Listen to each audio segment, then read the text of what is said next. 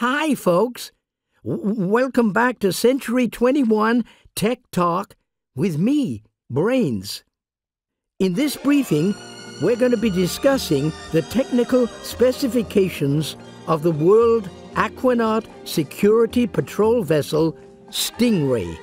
As the flagship of the WASP fleet, Stingray is recognized around the world, and I am just one of its many admirers. However, there is someone else who is far better equipped to tell you more about this incredible craft. Former WASP member and Aquanaut in charge of Thunderbird 4, Gordon Tracy. Gordon is currently visiting Marineville for an oceanographic conference and is joining us by secure satellite link up.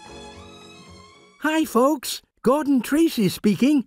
I guess old Brains wanted some time off, so he's asked me to give you a little presentation about Stingray. And what better place to host the briefing than Stingray's home base, Marineville. Stingray is the latest in a long line of impressive vessels used by the World Aquanaut Security Patrol. Before joining International Rescue, I served in their prestigious ranks and was assigned to active duty on Stingray under the command of its former captain, Bradley Holden, later to become Captain Grey of Spectrum. Since Holden's departure from the Wasp, Stingray has been crewed by Captain Troy Tempest, a veteran of the old submarine service, and hydrophone operator Lieutenant George Lee Sheridan, better known to the personnel of Marineville as Phones. They are often accompanied on their missions by Marina, the beautiful daughter of Aphony, ruler of the undersea kingdom of Pacifica. Troy and Phones rescued Marina from the evil King Titan of Titanica, a foe who continues to plot against them to this day. Stingray is located in Pen 3 under Marineville's control tower and remains at permanent readiness so that it can be launched at a moment's notice when action stations is sounded, the crew take up standby positions in the injector bay, poised for the action. If the launch station's alert sounds, the crew activate their injector tubes and are lowered towards Pen 3, where Stingray awaits their arrival.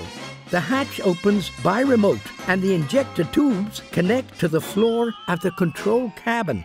The crew chairs are lowered into position and clamped in place. The injector tubes are then retracted and the main hatch sealed. The elevators holding Stingray's lift platform in position are released and the craft descends into the water. Rate 1 acceleration is applied. Stingray rises off its cradle and out through the doors of the pen into the launch tunnel. After a fast transit along the launch tunnel, the ocean door is lowered and Stingray bursts out into the ocean, ready to proceed with its latest mission.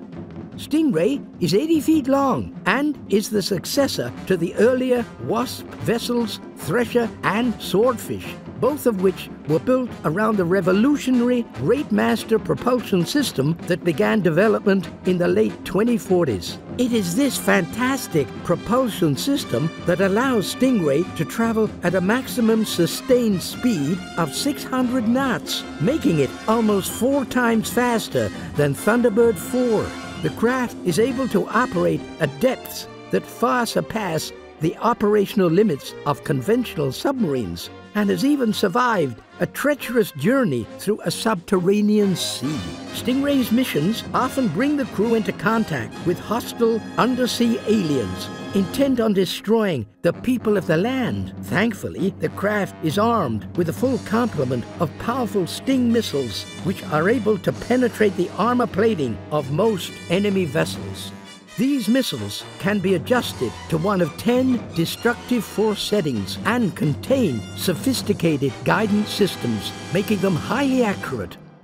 No patrol ship would be complete without a variety of auxiliary craft, and Stingray is no exception. The ship carries a pair of Aqua Sprites, two person mini submersibles that are perfect for scouting small spaces and ferrying supplies between larger submersibles. When a quieter approach is required, the crew can use the single-person sea bugs, powered undersea maneuvering units capable of fantastic speed. If the crew need to go ashore in a hurry, they can ride one of three monocopters. These single-person hovering transports work on the same principle as our international rescue hover bikes. Another vital component of Stingray's equipment is the hydrophone system, a vast improvement on the old style sonar. The hydrophone is a much more sophisticated and sensitive instrument. It can detect the smallest movement in the undersea environment and provide crucial early warning of potential threats in the area. If Stingray is damaged and taking on water, the emergency pumps will automatically start pumping the water out again. If the main power system fails, there is also a manual pump system that can be used, although this is much slower than the automated system. Gee! Attention, this is Marineville Control. All personnel stand by for battle stations. That's a sound I haven't heard in quite a while. I'd better report to the control tower now, folks. The Stingray crew may need some assistance with this one. See you soon, and PWOR.